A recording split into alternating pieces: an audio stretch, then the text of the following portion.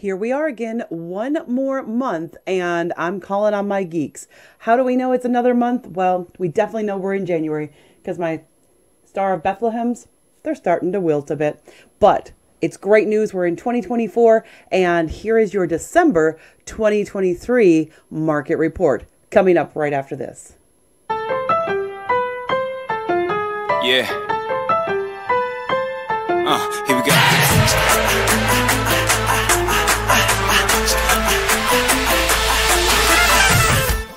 And here we are again, one month later, and we are ready for our January update for the December stats. And have I got some really good news for both buyers and sellers? So let's start off with the first thing. First thing is the Fed is expecting that interest rates are going to drop again sometime in January or early February. That's what they keep hinting. That's what they keep saying that our economy is back in a little bit more stability. So they feel like they can drop interest rates just a little bit. Might not be a lot, might only be a quarter of a percent, might be as much as a half percent, which would be amazing.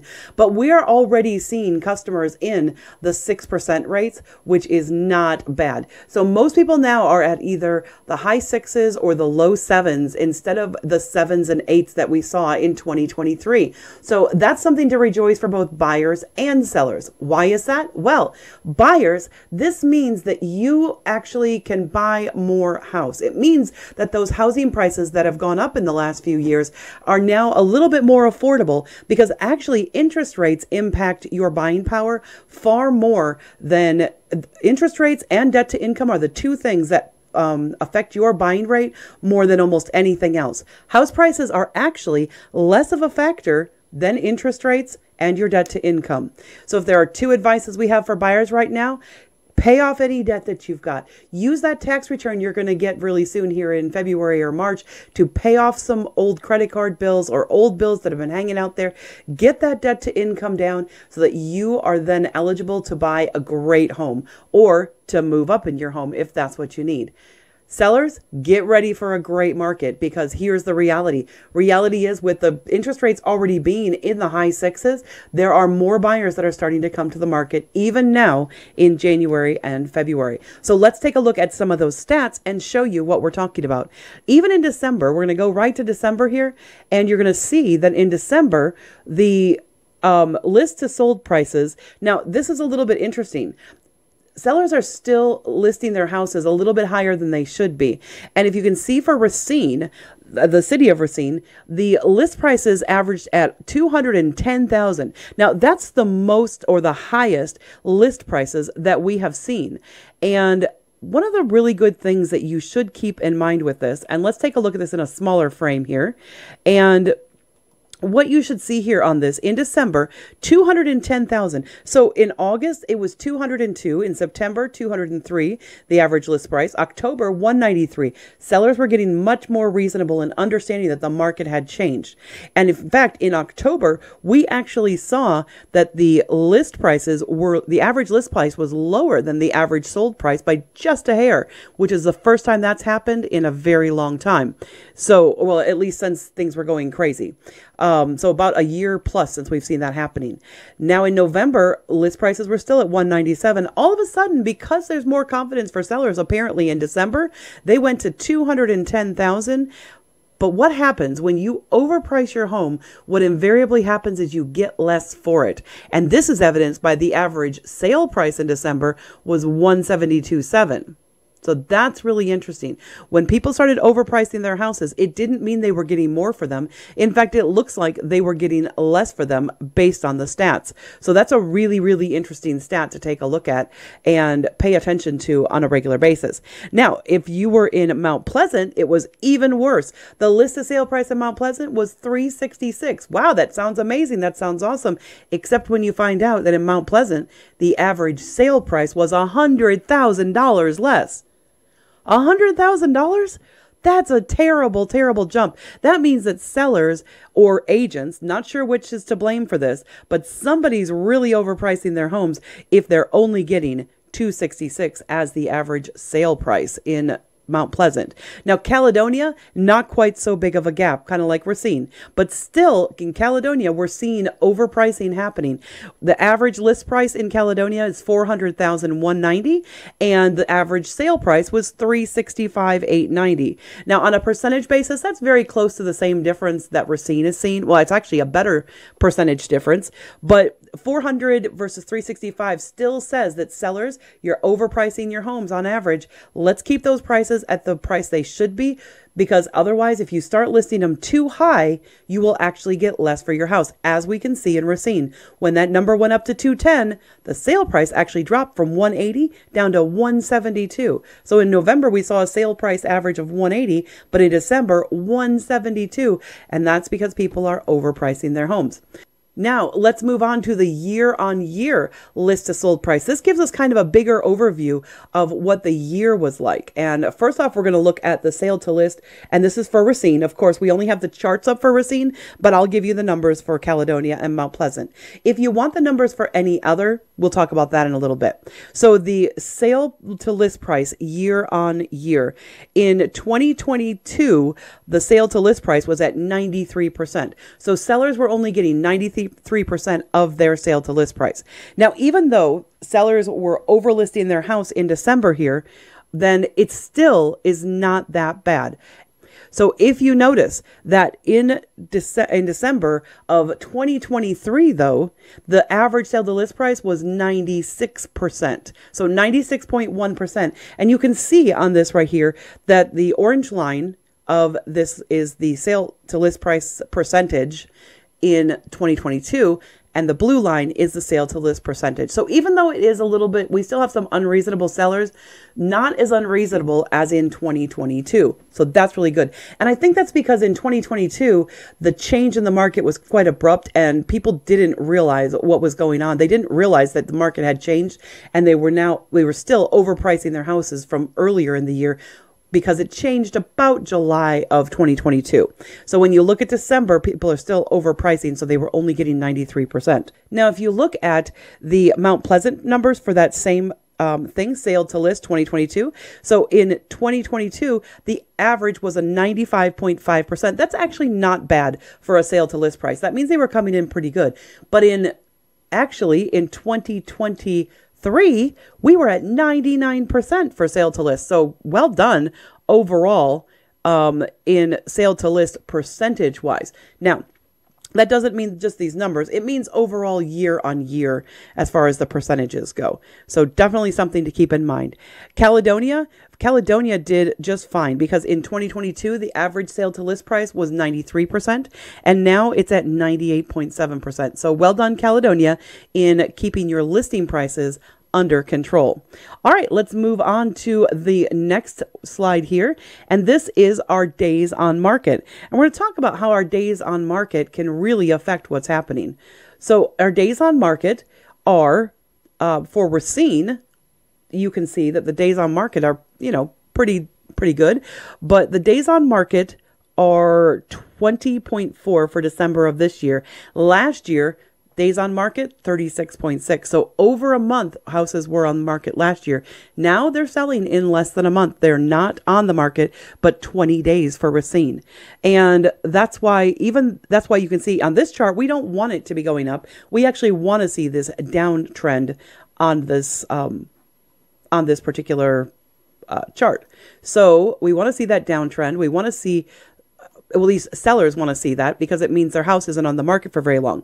But what's interesting is people think that your house not being on the market very long is a bad thing, a good thing. Actually, days on market, we want to see that number under a month as an average because there are some properties that sit out there for six months and, you know, sell right at the end, or they sit out there for four months and they really raise the average for everybody else. So when you see a days on market as 20 overall for the market, that's pretty good because it means a reasonable seller and a seller who's working within a good parameter is actually probably selling their house in about a week. So that should be what your expectation is of your agent that your house should have an accepted offer within the first week or two of your listing. That is the that kind of keeps you in with that average of where you should be because you're balanced out by people who are out there for a really long time. So expectation though should be changed. Because in 2020 2021 and even half of 2022 we saw this number as much much higher or much much lower. We saw people were selling their houses in like 24 hours. Now on that topic you should know that selling your house in 24 hours is a really bad idea. You should not necessarily take the first offer that you get on your house that fast. Now, if it's the first offer and it's oh, the only offer you have within a week, okay, that's one thing because your house has been exposed to the market for a long enough time for everybody to have a shot at it. But 24 hours is not even enough time for everybody to get in and see your house. Really, anything less than two to three days in those top high markets was not good for sellers. And the reason it wasn't good for sellers, it was great for agents because agents were often what we call double popping, or they were getting both sides of the transaction and keeping all the listing money for themselves. But sellers, if your house wasn't exposed on the market for two to three days and then you accepted an offer, you probably would have missed out on some of the other offers that may have come in. So definitely keep that in mind. Really, you don't want your days on market to be less than three. That's pretty much what you'd want it to be. Anywhere from three to 10 days is really in the acceptable range right now. But our days on market for Mount Pleasant, let's take a look at those numbers. The days on market for Mount Pleasant were 13 this last month. Wow. Houses in Mount Pleasant that are selling, they're selling fast. But then, of course, they're at a $100,000 discount. So why not? Days on market in um, 2022, 35, which pretty much lines up with where Racine was in 2022 as well. But lastly, let's look at Caledonia. The one thing you can say about Caledonia is Caledonia stays really consistent. They're a very, they're a much more stable market in general. Um, in Caledonia, we see that the average days on market in 2022 was 31, and now they're 33.5 it's a negligible difference, which means there's really not much difference between 31 days on market or 33 and a half. That's just the luck of the draw for that particular month. We would like to see Caledonia's average days on market, though, drop a little bit. That generally is an indication that sellers are holding out a little longer than they necessarily should be. Like I said, a good house selling right now in any market, whether it's Mount Pleasant, Caledonia, anywhere in the Racine Kenosha area, we're looking at anywhere from a three to 10 days. That's what you're looking for if you're for your days on market. All right. Let's look at our next section here, which is our sold versus new listings. Now, the sold versus new listings chart, this one is all about um, how many new listings we have, and it plays into our last slide, which is about absorption rate.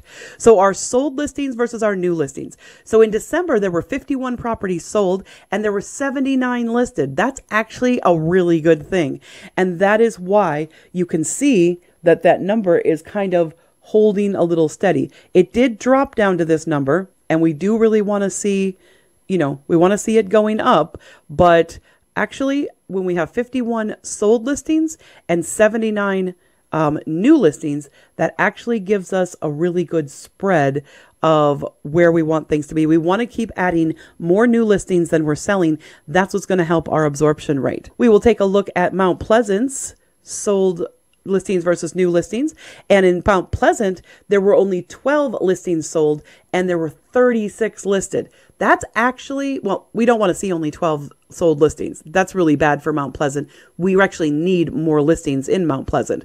But 12 versus 36, so three times as many properties were listed as were sold. That's a good ratio but we really need to see it more to be like 90 something listed and 36 sold. That would make for a much healthier market in Mount Pleasant. We look at that number for Caledonia and the sold listings were 25 and the new listings were 44. Again, that's a really solid, that's a 50 50. So it would still be better though if we had those numbers up closer. The listed numbers on all of these should be closer to 100 every month.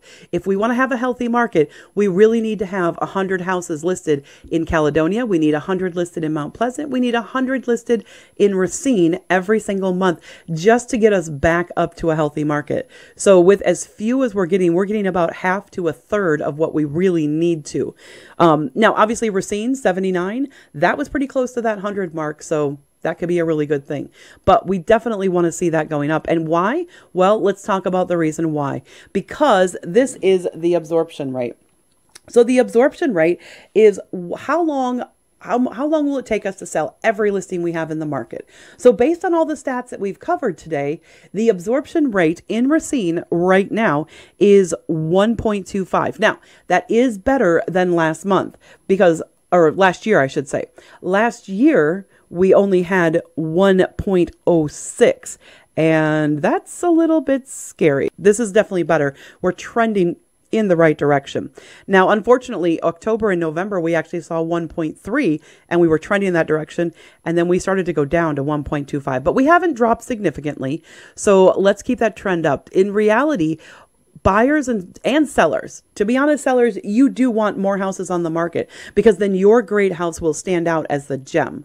So, sellers, it doesn't hurt you to have more houses come on the market. Um, not really. Not if you're a fair and equitable seller. Not if you're someone that's not trying to screw somebody over. If you're a fair and equitable, great seller to work with and you're a reasonable person, you really want to have about three months of inventory. And right now, we only have 1.25.